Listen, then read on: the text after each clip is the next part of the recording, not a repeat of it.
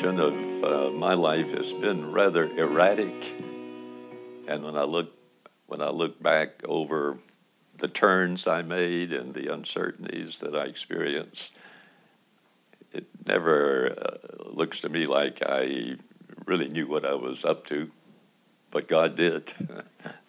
and I see now how He put together some very diverse things that would not, uh, to me, have made much sense.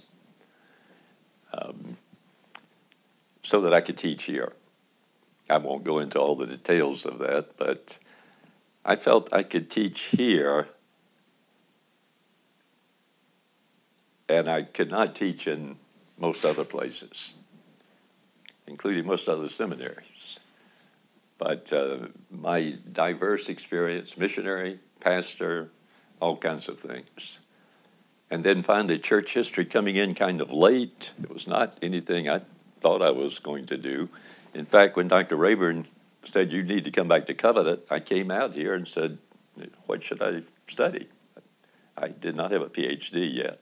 So the plan was for me to come to Covenant, but go get a PhD and come back and teach. I had a THM in Old Testament. I had a THM from Princeton in New Testament. Studied with uh, Bruce Metzger then.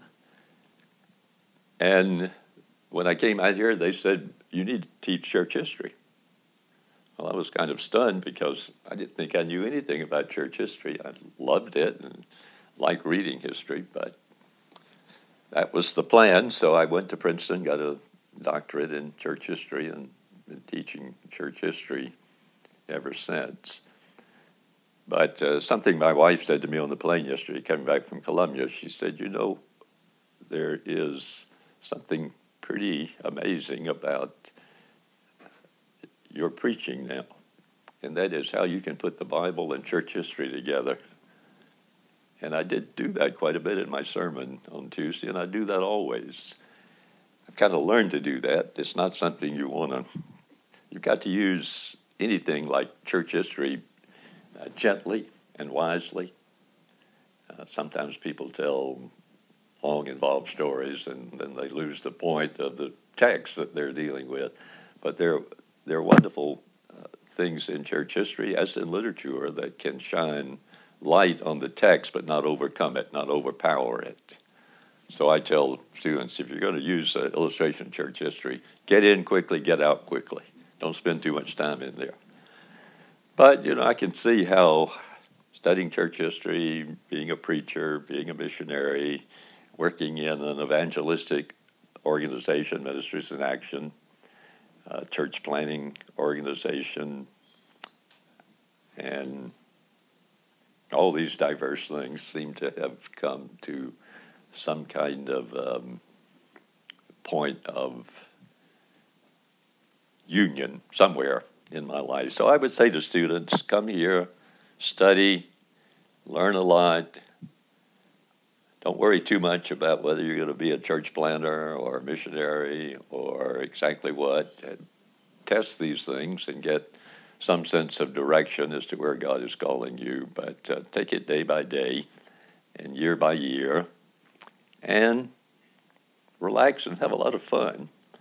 Seminary students can sometimes, maybe not now, they used to be pretty serious lot. And there's something good about being serious, but you can be too serious. and I think it's important for seminary students, particularly, to not be too uptight about things, but just be happy, be willing to be taught, get to know each other, love each other, enjoy what's going on. Now, I know there are problems, tensions, troubles in marriages, uh, temptations of serious kinds, financial problems, all that. So I'm not, I'm not saying just ignore all that. You have to deal with these things, but at the same time, I think it was Dr. Machen who said that to the students at, at Princeton, uh, you, you men are, are, are good students, but you're not having enough fun. So he would send them out to play tennis or something. He loved to play tennis himself, and or have a, a kind of a evening uh, party where they would sit around and talk about things. So, what does that all add up to? I'm not quite sure. but study, trust God, enjoy yourself, enjoy the world God has made, enjoy people around you, and know that God is in control.